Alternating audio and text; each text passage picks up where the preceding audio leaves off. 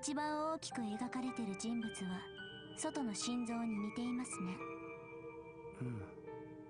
主神グリムニルだね。仮面をかぶってるから多分百年戦争以前に描かれたものだ。周りに従っているのはおそらく半身の戦士たちだね。半身？グリムニルは半分人間で半分神様の戦士たちを刺激したんだアドルに坊主。あっちを見てみろや。あれは？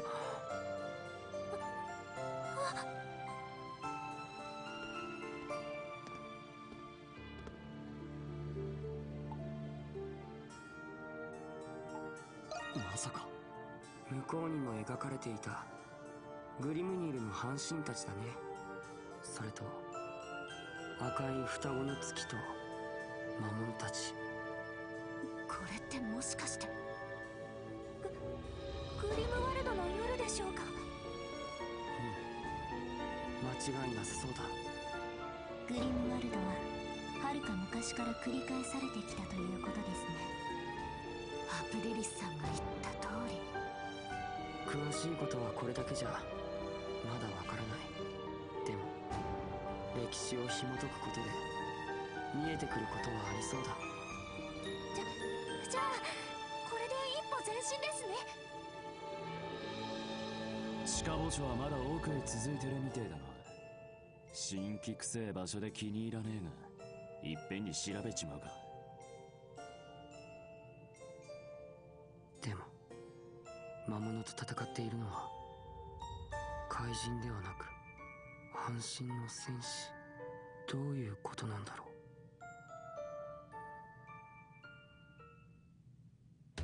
ねえあそこに見えるのって何かな？かなり古いみたいですが建物のようにも。うこの距離だと何とも言えないけどこの町には僕らの知らないことがまだまだたくさんあるね。何かを発見しましたそれ宝箱が何かを発見しました強い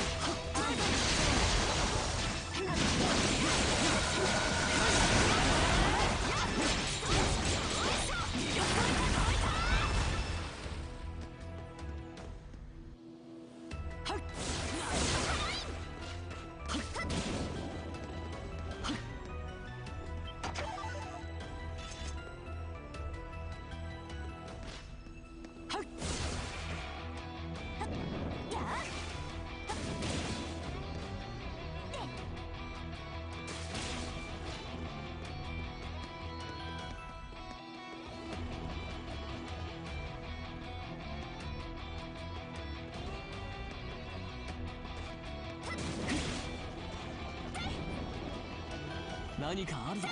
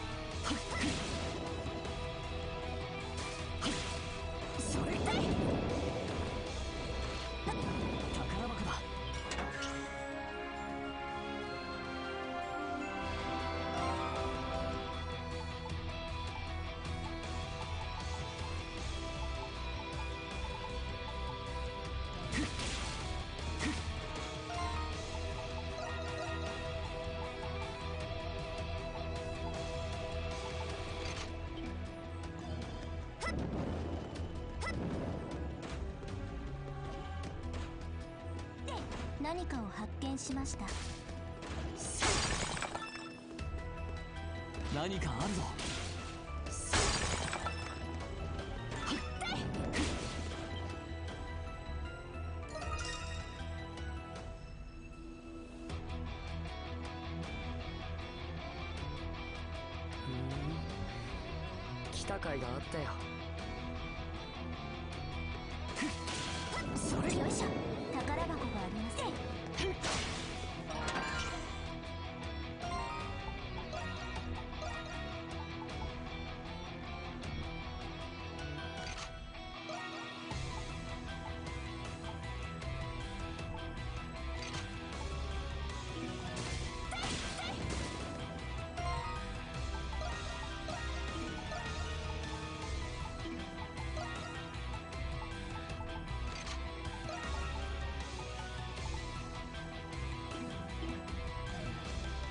何かあるぞ。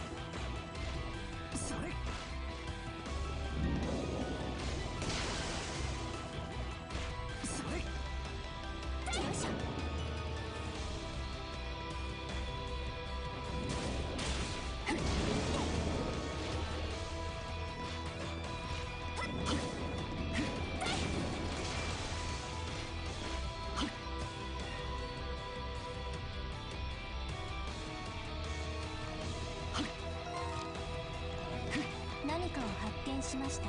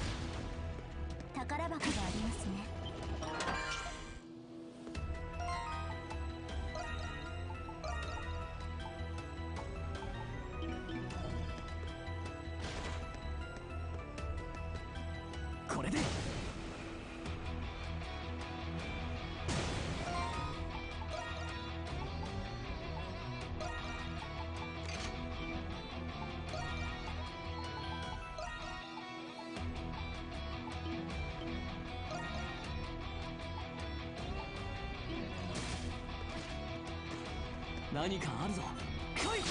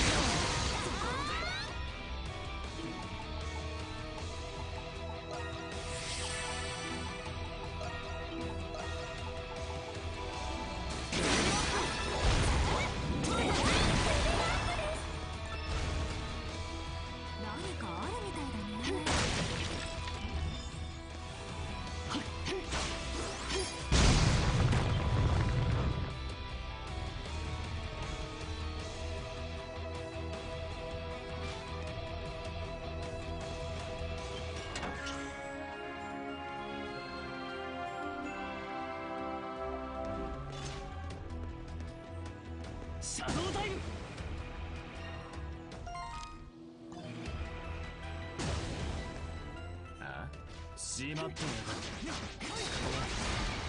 くための仕掛けがないか探してみようよし怪しいものを片っ端から叩いてみるわウバさん。が叩いたら全部壊し。ちゃいます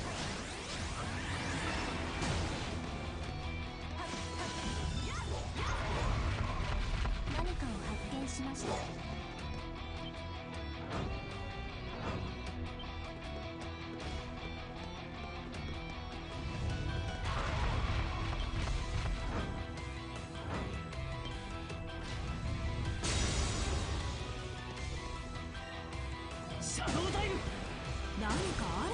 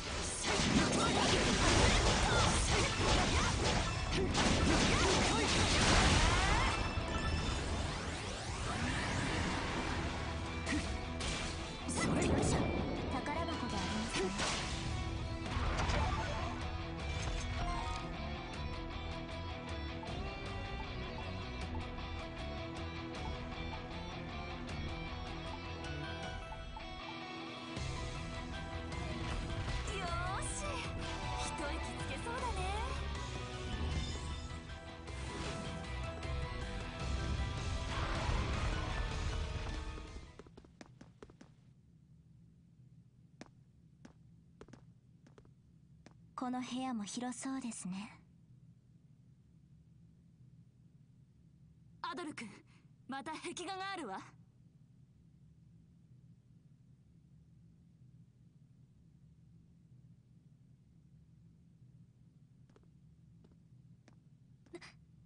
ななんとなく不気味な絵ですね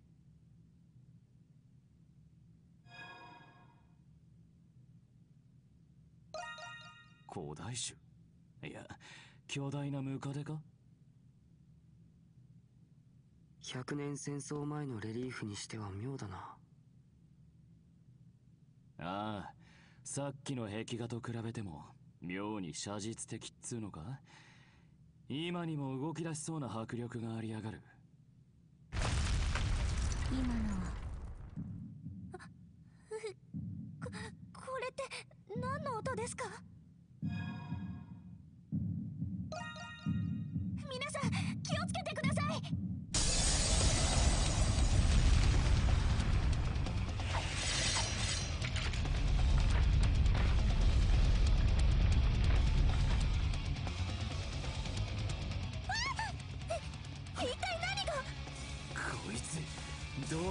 てやがるのか。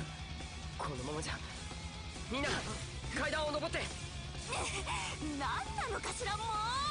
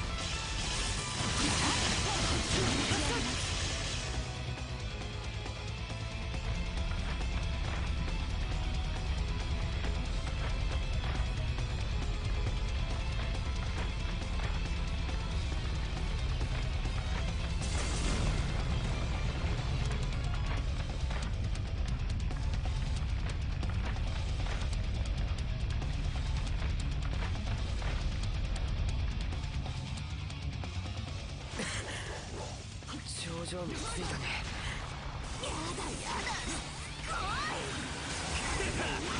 々に楽しませてくれるじゃねえか。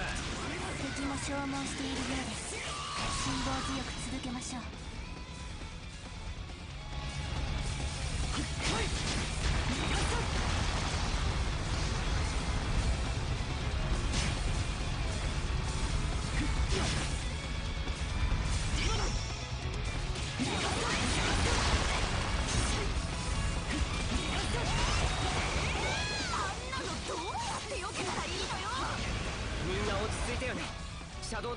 って外側に逃げよう。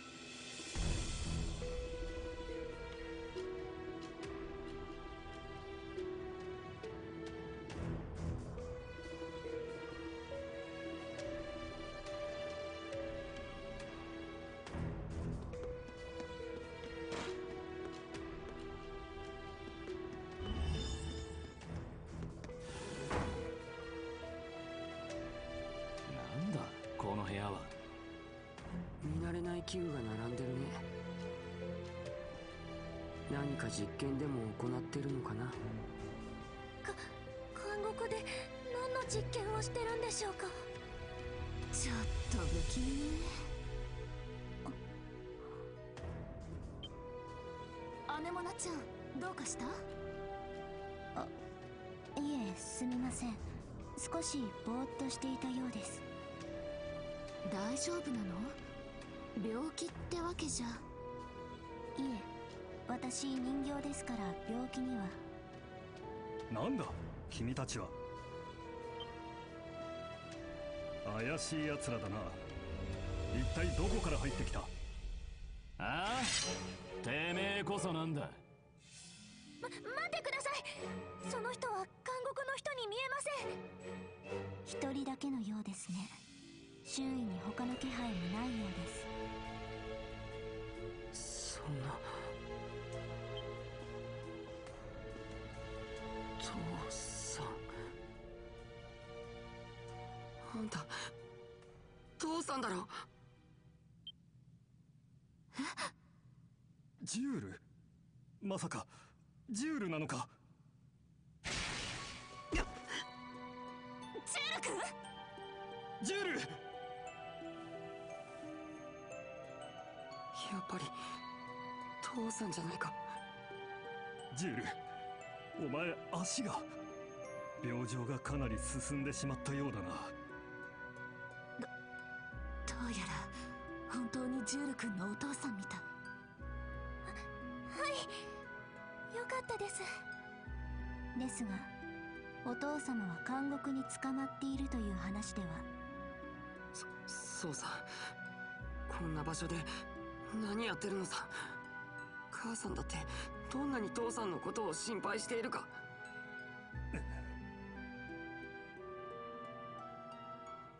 父さん。そうか。君たちが怪人なのか。私の名前はスミノフ・ノア。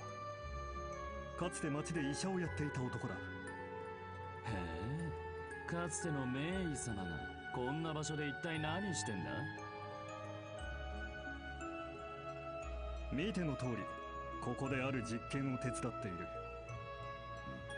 手伝っている？一体何の実験なのさ？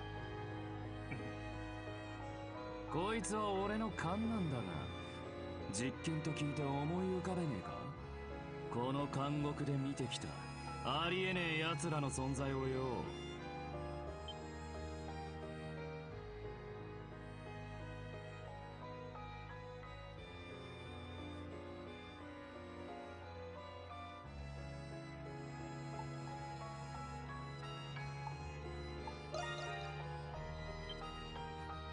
そうか。あそこに侵入したのはやはり君たちか。父さん。さっきの大ムカでも同じ類だったりするのか？まさか。だってどうしたらあんなものを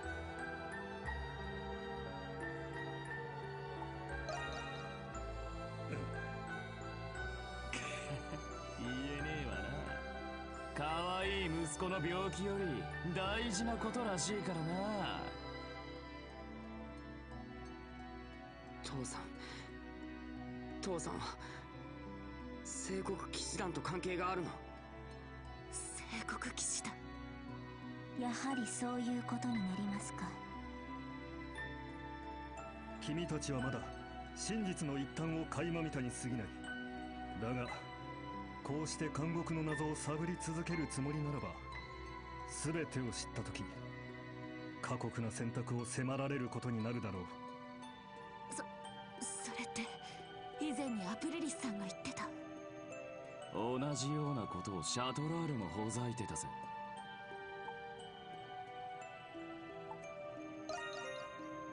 赤の王どこまでもまっすぐな男だな。だがこれ以上君たちに話せることはない。そして私は目的を果たすまでここから帰るわけにはいかんのだ。あんたは本当に勝手だよね。僕を僕を本当の家族のように迎えてくれて感謝してたんだ。本当の家族？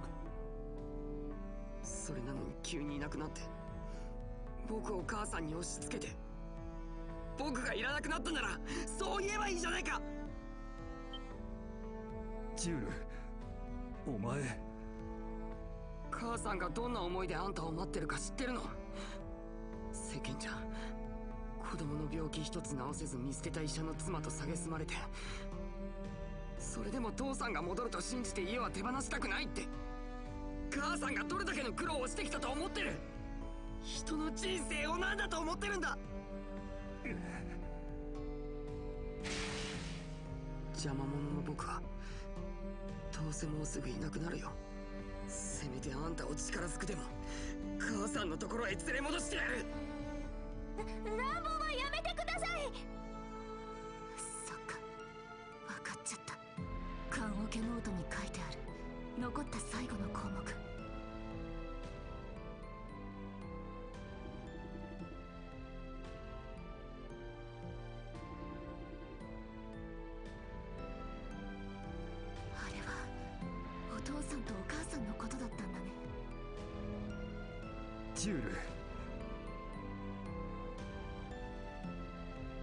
だがそれでも私は監獄を出るわけにはいかん。今までのことを無駄にしないためにも。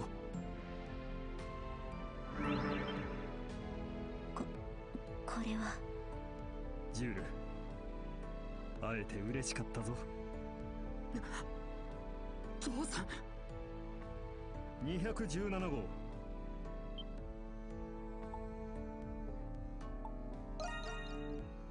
隠さなくていい君がアドル・クリスティンだな。君たちは少しずつ確信へ迫りつつある。こちらへ足を踏み入れる気ならくれぐれも気をつけたまえ。すまないが息子を。ジュールをよろしく頼んだよ。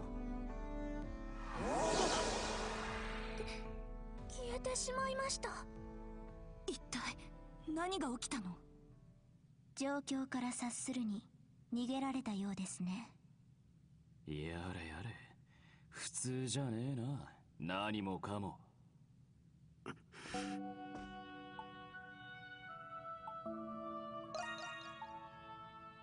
ジ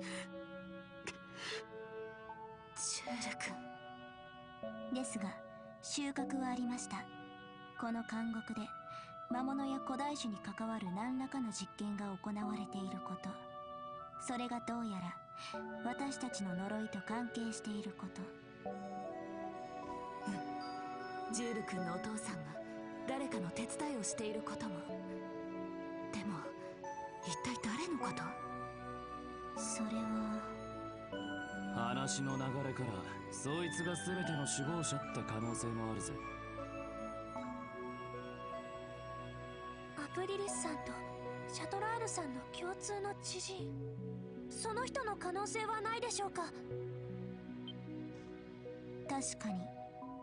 つながりそうな気がするわね。高潔と名高い我らが団長殿は何を企んでるんだか。アドル君ダンデリオンに戻らない？いろいろあったから一旦整理した方がいい気がしてそうですね。それがいいかもしれません。そうと決まればここに長いは無用です。早速参りましょうか。